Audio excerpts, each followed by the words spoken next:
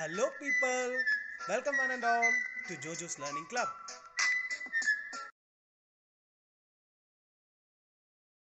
Hello guys, I'm back again. So today my topic would be on conversion tables and charts. So it is often necessary in day-to-day -day life to convert some conversion tables and charts. For example, when you wanted to have a currency exchange you are between two countries or you wanted to check a best time schedule or the production schedule or a conversion from imperial to metric unit. So for all this you have to do a simple calculations using conversion tables. So let's do an example with the first with the currency exchange rate for five different countries and let's do some calculations using that. Okay. So my question is currency exchange rate for five countries are shown here for the countries France, Japan, Norway, Switzerland and USA. For France, one pound is 1.40 euros. Uh, for Japan, one pound is 190 to 190 yen. And for Norway, one pound is 10.90 kroner.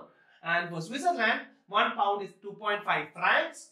And for USA, it is one pound is 1.5 dollars. And I have five questions based on it. And let's do solve all the questions. So how many French euros 27 pounds will buy? So we, we know that one pound is 1.4 euros, right? So what would be 27 pounds? 27 into 1.4. That's it. I won't be doing here final calculations because it will take me a lot of time uh, for the video. So please find the answer and comment below my video or you can also mail me under jojo's learning club at gmail.com. I would correct your answer and would give you. So that's all. Please find the final answer for it in euros, right?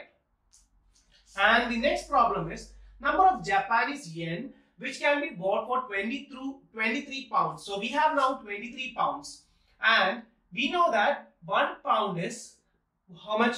190 yen. So what would be 23 pounds? 23 pounds is nothing but 190 into 23. So this would be the answer for Please find the answer again as the time constraint is there. I'm not able to find the final answer for all the calculations. It would take me a lot of time to complete my videos. So the next problem is the pounds which can be exchanged for 6408.20 uh, Norwegian kroner. So we have now, we know that 1 pound is 10.90 kroner. Also the question is we have to find how many pounds are 6408.20 kroner. So, so to find how many pounds are it, we know that this many kroner is there. So to find the uh, pounds, what we have to do, we just have to divide it by 10.90. So we get the amount in terms of pounds. So this would be the final answer for the problem number C.